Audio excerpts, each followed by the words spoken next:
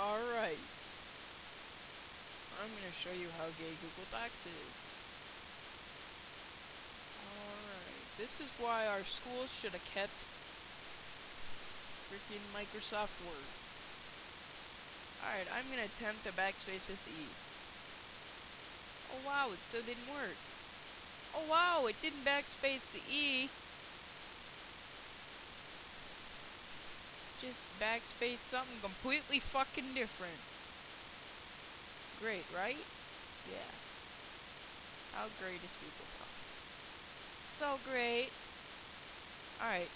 Here I am. This is the end of the paper. I can't fucking go over to the E. Alright?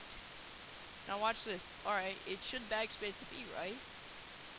I hit backspace, and it freaking brought it way up here. Hit backspace again. Oh wow!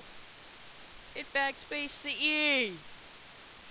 Now I have to add the E back in, space it. Alright.